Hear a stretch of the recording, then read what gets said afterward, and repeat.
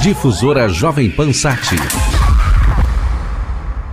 Olha, nos últimos anos, os promotores do Carnaval em Veneza começaram uma iniciativa bem interessante. O tema estava relacionado aos cinco sentidos fundamentais do ser humano, o que permite que cada bairro em Veneza tivesse a sua programação inerente ao tema. Carnaval não é somente na Pizza San Marco, vai além. Programação diária permite encontrar as datas e locais das manifestações tradicionais e inovativas.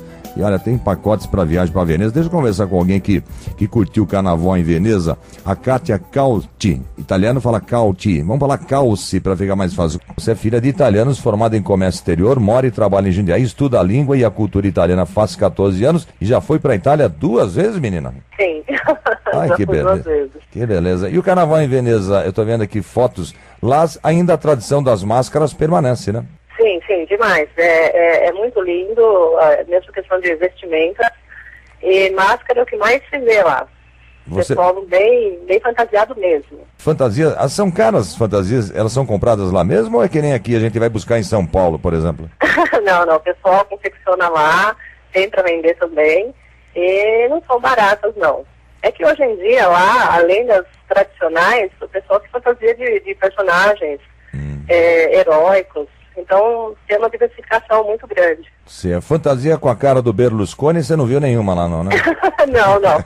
Não, eu fui em fevereiro do ano passado, não, não vi. É, porque aqui no Brasil a, a, teve ano que foi a do Lula, outra a do, do, do da, da, da, presidente Dilma, mas lá essa tradição não existe. E, e, e, e, no Rio, que corta a cidade, os barcos vão passando por ele, né? Sim, sim. É o Gran Canale, Gran Canale. e, tem vários barcos é, usados como táxi, tem os draguetos, que é usado como se fossem os nossos ônibus, né? Sim. E o que se canta, o que se toca e o que se canta por lá? Olha, as músicas elas ficam, na verdade, assim, é, ambiente. Você vai andando assim nas ruas, contemplando as fantasias, hum. tirando fotos, né? Que eles param para tirar fotos, as pessoas fantasiadas.